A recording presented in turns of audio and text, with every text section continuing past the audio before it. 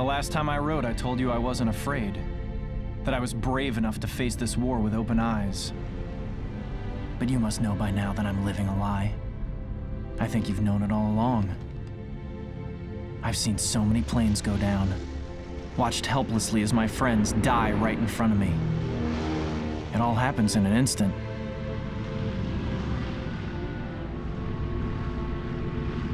Dad, I'm scared. We all are.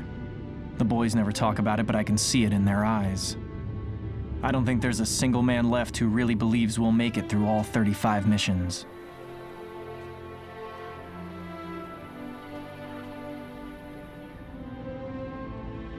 Before I shipped out, you said the key was taking it one day at a time.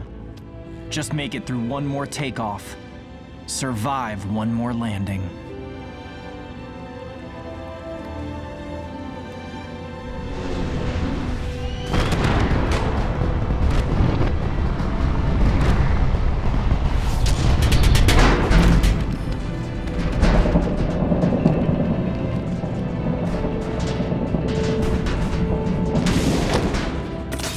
I'm not like the rest of the guys. They're all afraid of what's gonna happen once we get airborne. But me? I'm more scared of what happens if I ever make it home.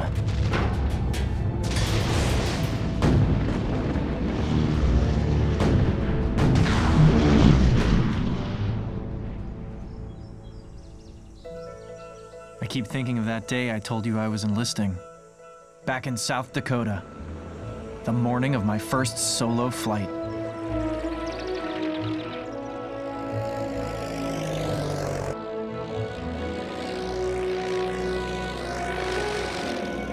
It's the place where I grew up. Where you raised me to be a man.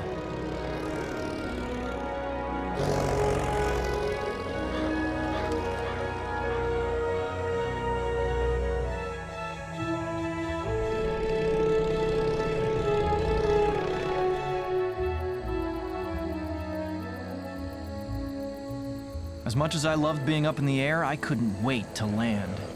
I couldn't wait to see the look in your eyes when I told you my decision. That I was gonna follow in your footsteps. That I was gonna fight. Just like my old man.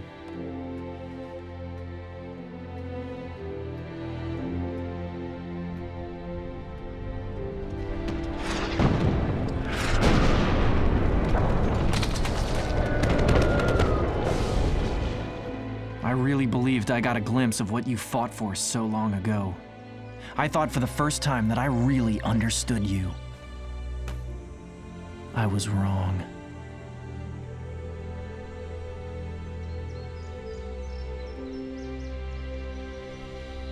I remember the way you looked at me when I told you I was signing up. All that respect. It made me feel invincible. Things change so quickly here.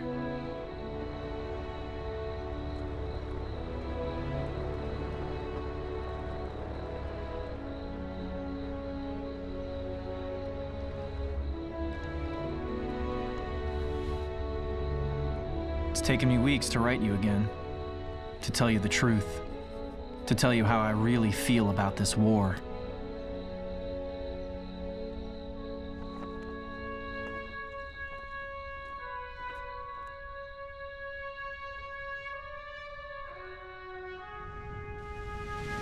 Each mission takes me further and further into Europe. And during every flight, I look down through the clouds. What do I see? A place that looks just like home.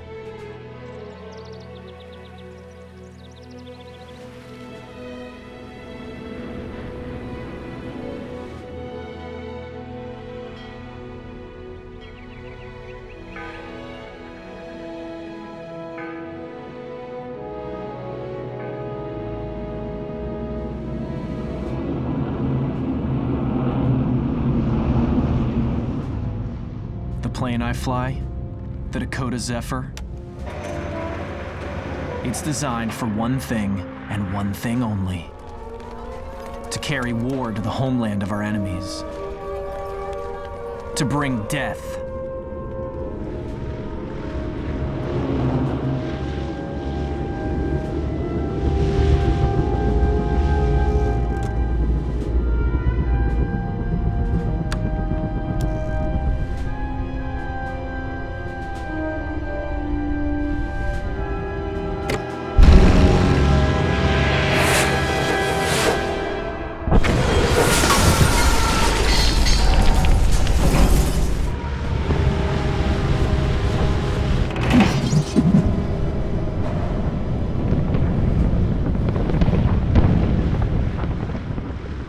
How am I supposed to feel, Dad? Am I supposed to feel? Why didn't you tell me the truth? Why didn't you tell me what it was really like?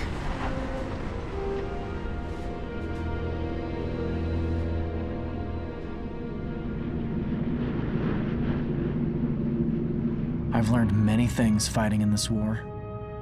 Mostly, I've learned that I'm not a very brave man. Because a brave man would never say these things. Not to a veteran who's never once shown a single sign of weakness. Dad, I'm sorry.